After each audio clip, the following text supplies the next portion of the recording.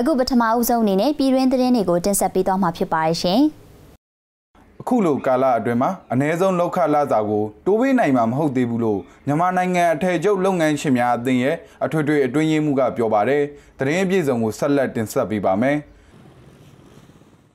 ကမ္ဘာနိုင်ငံတချို့မှာ COVID-19 ကူးစက်မှုစတင်ဖြစ်ပွားချိန်ကစပြီးပြည်တွင်းကလက်ခစားအထည်ချုပ်လုပ်ငန်းတွေမှာကုန်ကျန်းပြက်လက်မှုတွေနဲ့ကြုံတွေ့ခဲ့ရသလိုပိတ်သိမ်းခဲ့ရတဲ့စက်ရုံအလုပ်ရုံတွေလည်းရှိခဲ့ပါတယ်။ အခုလိုအခက်အခဲတွေနဲ့ကြုံတွေ့နေရတဲ့အခြေအနေတွေကြောင့်အ ਨੇ ဆုံးလောက်ခလာစာကိုထပ်မံတိုးပေးနိုင်မှာမဟုတ်သေးဘူးလို့သိရပါတယ်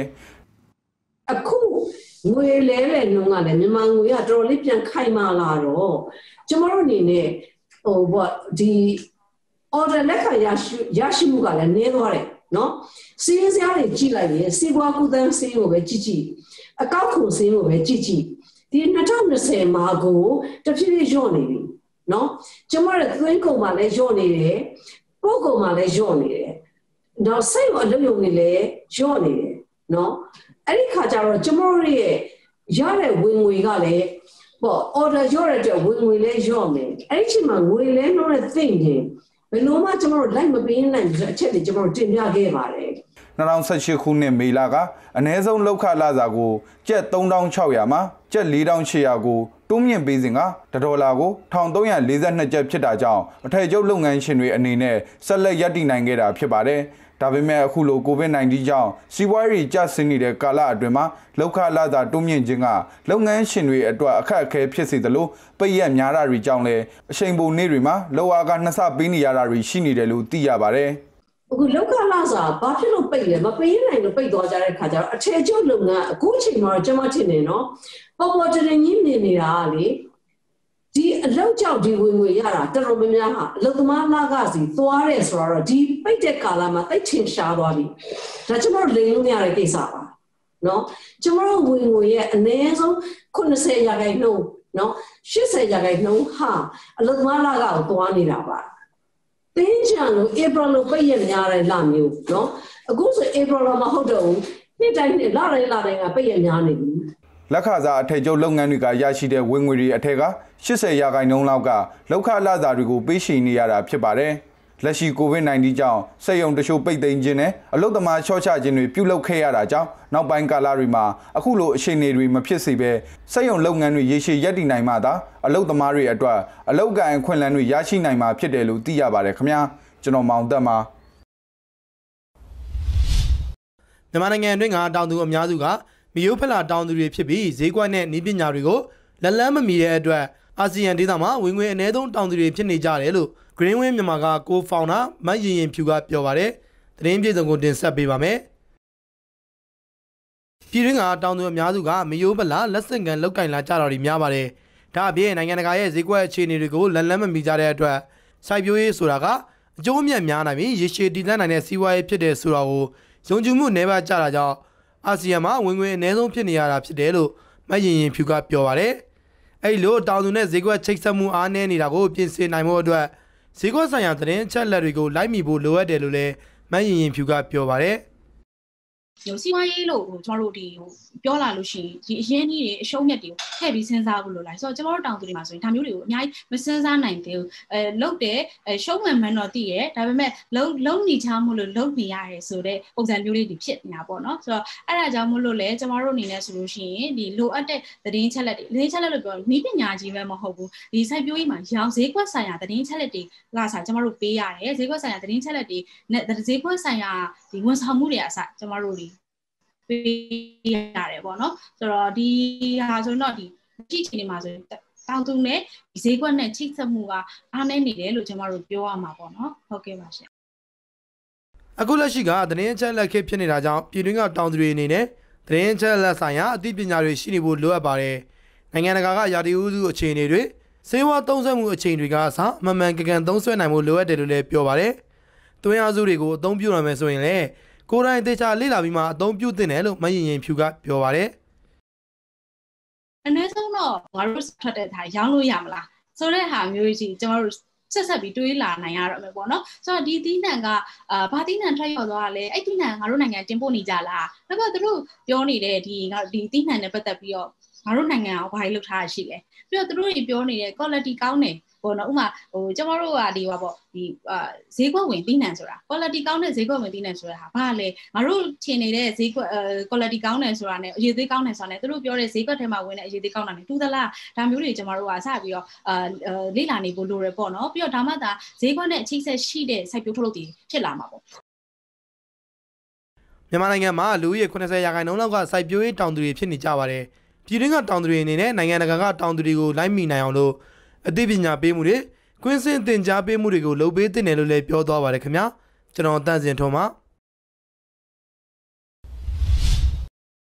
COVID-19 ကာလဖြစ်ပေမဲ့တရုတ်ဝယ်လိုအားကပုံမှန်ရှိနေတဲ့အတွက်မကွေးမျိုးကစောင်းမြေပဲဈေးကွက်မှာအတက်အကျတိတ်မရှိပဲဈေးတည်ငြိမ်မှုရှိနေရလို့မကွေးကုန်တယ်ကြီးများအသင်းဥက္ကဋ္ဌထံကနေသိရပါတယ်။တရင်အပြည့်စုံကိုတင်ဆက်ပေးပါမယ်။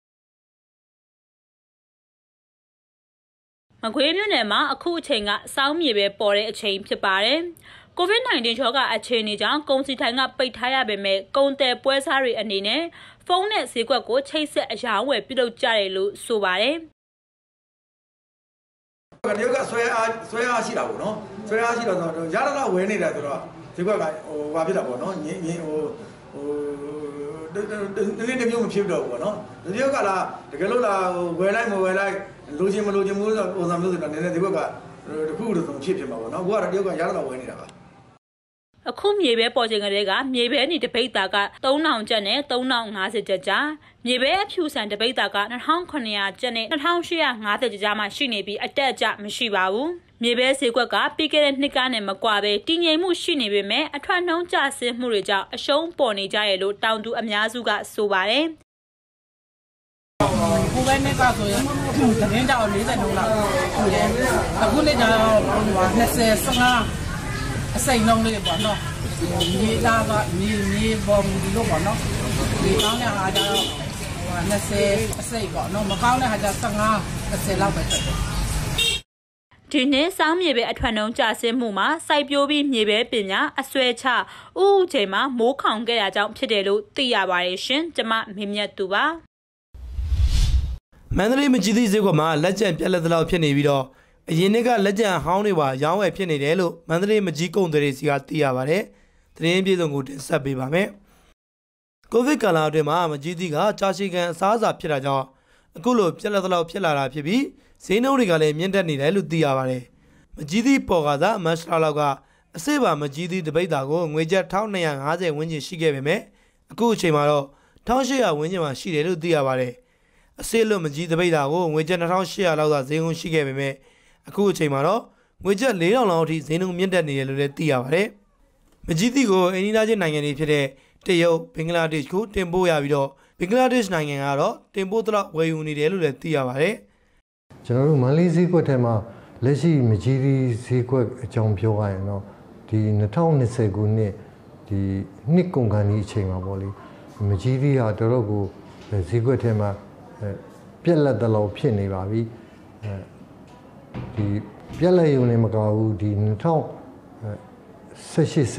အဟောင်းနေပါဒီကျွန်တော်တို့အယောင်းဝယ်တွေဖြစ်နေတဲ့အတွက်ဒါလက်ကျန်ကိုဒီနေ့နေနဲ့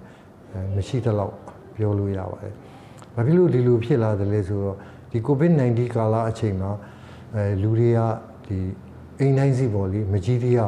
အဲမစားတဲ့အိမ်ဆိုလို့မြန်မာမိသားစုတွေမှာကတ်ရှားရှားပါပဲ။ ဒီဟင်းရအနေနဲ့စားသုံးတယ်။နောက်မကြီးသေးစားသုံးတဲ့အတွက်ဒါဒီမြန်မာတွေရဲ့အရှိအစဉ်လာကဒီကျွန်တော်တို့မီယိုးဖလာအရာဒီကျမ်းမာရေးအရာလည်းအထောက်အကူပြုတဲ့ဒီအသည့်တစ်မျိုးဖြစ်ပါတယ်။တရုတ်နိုင်ငံကဈေးမြင့်တက်လာရင်ဝယ်လိုအားရပ်သွားတတ်ပေမဲ့ဘင်္ဂလားဒေ့ရှ်နိုင်ငံကဝယ်လိုအားများနေပြီးအခုအချိန်မှာတော့ပြည်တွင်းမှာပစ္စည်းပြက်လက်သလောက်ဖြစ်နေတာကြောင့်တင်ပို့ရောင်းချမှုတွေအားနည်းနေတယ်လို့လည်းသိရပါတယ်။ ထွက်တဲ့လောက်မကြီးကိုအဲကျွန်တော်တို့ခါတိုင်းနှစ်မှာဒီပြပပို့ရတဲ့နှစ်လည်းရှိတယ်ပြပမပို့ရတဲ့နှစ်လည်းရှိတယ်အဲအဓိကတော့ပြည်တွင်းစားသုံးတာကတော့အထက်ရောက်ကျွန်တော်တို့အဲဈေးခွက်တွေကတော့အဲနှစ်စဉ်ရှိပါတယ်ဒီမကြီးကိုအဲဒီနှစ်နေရတော့ထူးထူးခြားခြားပဲမကြီးအဲကလည်းဒီဗမာစီဆူရိုးစကားလို့ပေါ့မကြီးတလဲဇီးတလဲဆိုတော့လို့ ဆိုရိုးစကားအတိုင်းပဲဒီနှစ်ကတော့မကြည်စေးကောင်းတဲ့နှစ်ဖြစ်ပါတယ်။နောက်ဝါနဝါလည်းထက်နေတဲ့အတွက်ကျွန်တော်တို့ဒီရှေ့အစဉ်အလာရပေါ့လေဝါနဝါထက်ရင်ကျွန်တော်မကြီးသည့်အထွက်လဲနဲတယ်ဒါပေမဲ့ဒီဒီနှစ်နှစ်ကမကြီးထွက်လဲနဲတယ်ပြည်ပပုဂ္ဂိုလ်အနေနဲ့အိန္ဒိယနိုင်ငံတွေဖြစ်တဲ့ဘင်္ဂလားဒေ့ရှ်ကလည်းဝယ်တယ်နောက်ကျွန်တော်တို့တရုတ်ပြည်ကလည်းပုံမှန်နေပို့နေရတယ်အဲဒါမှမဟုတ်မလို့မကြီးစေးရဒီလိုမျိုး ပြည်တွင်းကလည်းစားသုံးတဲ့အတွက်ခုလိုမျိုးတက်လာတာဖြစ်ပါတယ်ဒီအခုရက်ပိုင်းတော့သူတို့လည်းလိုချင်တယ်ဒီတိုင်းပြည်နိုင်ငံဆိုလို့လိုချင်ပေမဲ့ဒီတရုတ်ပြည်အနေနဲ့ကတော့ဈေးမြင့်သွားရဲ့အဝယ်ရက်တယ်ဒါပေမဲ့ဘင်္ဂလားဒေ့ရှ်အနေနဲ့ကတော့ဒီသူတို့ဝယ်လူအားတော်တော်ပြင်းပြတယ်အပြင်းပြတော့ညာလဲလက်ချန်အနေနဲ့ကနေပါနေတဲ့အတွက်ဝယ်ယူလို့ဒါလာမယ့်နှစ်အဲပေါ်တဲ့ຢာဒီဒီတပေါင်းတကူပေါ့လေ အဲအဲ့ဒီຢာဒီပဲသူတို့စောင့်စားကြရတော့မှာမကြီးသီးကနှစ်ရှည်သီးပင်ဖြစ်ပြီးတစ်နှစ်မှာတစ်ကြိမ်သာသီးတာဖြစ်ပါတယ်မြန်မာနိုင်ငံလယ်ပိုင်းဒေသဖြစ်တဲ့ပခုတ်ကူပကံညောင်ဦးကြောက်ပတောင်ရေစကြိုစတဲ့ဒေသတွေမှာပေါက်ရောက်မှုများပြားပါတယ်လင်းနေအတွင်းမှာမကြီးသီးဈေးကအမြင့်ဆုံးရောက်ရှိနေတာဖြစ်တယ်လို့လည်းမှတ်တမ်းများအရသိရပါတယ်ခင်ဗျာကျွန်တော်အတန်းစင်ထော်မှာ